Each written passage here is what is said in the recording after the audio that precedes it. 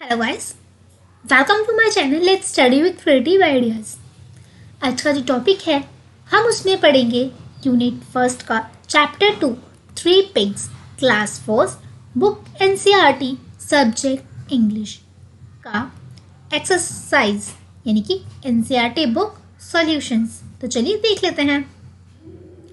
First है हमारा reading is fun how many pigs were there first question जो हमारी बुक से आता है, वो ये है कि वो ये पूछ रहा है कि how many pigs were there यानी कि इस स्टोरी में कितने सुअर थे? तो बताइए कितने सुअर थे? हाँ जी, बिल्कुल सही कहा आप लोगों ने।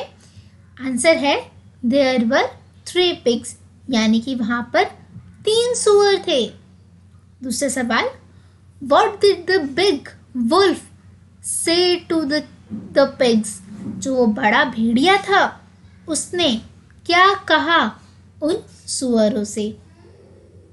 आंसर है, द बिग वुल्फ सेड, उस बड़े से भेड़िए ने बोला, to the pigs, pig say that he would blow away their houses कि वो उनके घर को उड़ा देगा। नेक्स्ट देखते हैं।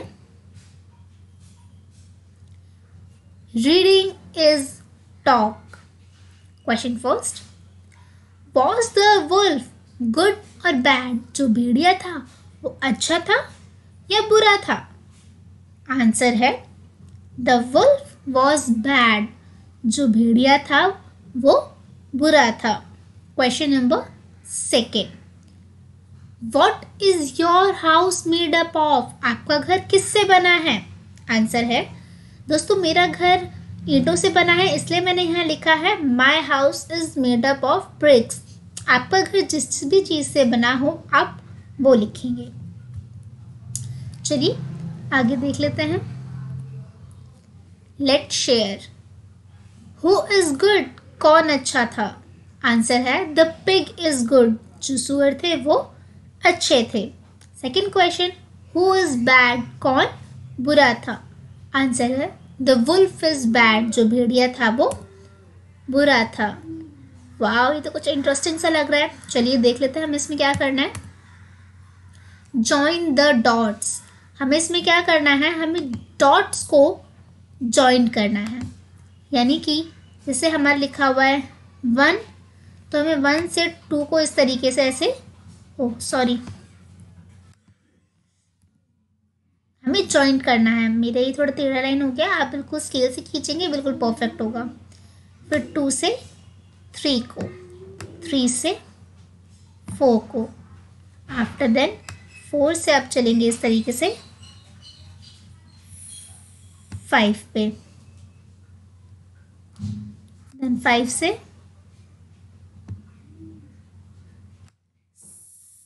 सिक्स पे। सिक्स से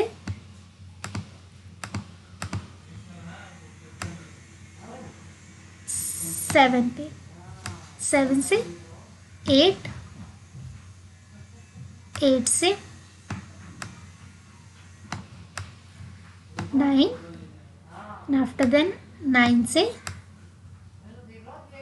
टेन बच्चों, यहाँ जो ये थोड़ा उल्टा फुल्टा हो गया, आप स्केल से खींचेंगे तो बिल्कुल परफेक्ट बनेगा। और इस तरीके से आपको डॉट डॉट्स को जॉइंट करते हुए अपने घर को रेडी करना है। और अगर आपकी इच्छा हो तो आप इसमें कलर भी भर सकते हैं। चलिए आगे देख लेते हैं। हाँ जी तो इसमें क्या करना है हमें? देयर आर फार्म एनिमल यहाँ पे कुछ फार्म एनिमल्स हैं। Water animals and jungle animals और जंगल एनिमल भी है और वाटर एनिमल्स भी हैं. फार्म एनिमल कौन होते हैं बच्चों? जो कि फार्म में रहते हैं, इनकी जिनको ह्यूमन की केयर की ज़रूरत होती है, जो ह्यूमन की निगरानी में बड़े होते हैं. वाटर एनिमल्स कौन होते हैं? जो कि वाटर बॉडीज़ में रहते हैं, जिसकी लेक ओशंस रिवर जो उसमें रहते हैं. जंगल एनिमल जंगल एनिमल कौन होते हैं बच्चों? जो कि जंगलों में रहते हैं, यानी कि वन में रहते हैं। तो हमें क्या करना है? In this picture have the animal reach their homes ये सारे इधर उधर आ गए हैं। आपको लाइन ड्रॉ करते हुए इनके इनके घर तक पहुंचाना है। तो चलिए स्टार्ट करते हैं हम अपने बफेलो से। बताइए बच्चों बफेलो कहाँ रहता है? हाँ जी बफेलो इंसानों की निगरानी में रहता है, इसीलिए वो कहाँ रहेगा? फार्म में। बियर यानी कि भालू। भालू को तो भैया इंसान पाल ही नहीं सकते, और वो पानी में तो रहता नहीं है, इसलिए वो कहाँ रहेगा? वो रहेगा हमारे जंगल में। घोड़ा, यानी कि हॉर्स हॉर्स का पहले कर रखा है तो हम आते हैं हैन पे। हैन यानी कि मुर्गी। देखा है, मुर्गियों को इंसान पालते हैं, इसीलिए ये आ जाएगा हमारे फार्म में। डॉग डॉग्स को भी इंसान ही पालते हैं। इसीलिए वो भी आएगा हमारे फार्म में। क्रोकोडाइल क्रोकोडाइल को तो इंसान नहीं पालते फार्म में नहीं रहते हैं। वो कहाँ रहते हैं? वाटर बॉडीज़ में रहते हैं। इसीलिए हम उनको मैच कर देते हैं उनकी वाटर बॉडीज़ के साथ। फ्रॉग वो भी वाटर्स में रहते हैं। तो इसीलिए उनको भी मैच कर देते हैं वाटर बॉडीज़ के साथ। काव काओ को इंसान पालते हैं। It means farm animal